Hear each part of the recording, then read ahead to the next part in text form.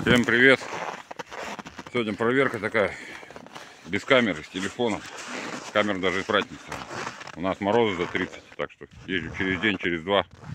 Сегодня вот отпустила до минус 30. Думаю, надо поехать проверить, а то к ночи опять минус 40, минус 37 обещают. Вот попало три изя. Нифига не ловится. Снегоход стоит замерзший, замороженный, так вот укрытый. Так что такие пироги. Сегодня даже не долбил, он мотобуром отдолблю. Бури в лунке, чтобы не долбить. Ну, вот такой улов сегодня. Рыба бастует, морозы, рыба бастует. Толку нет, не езжу каждый день.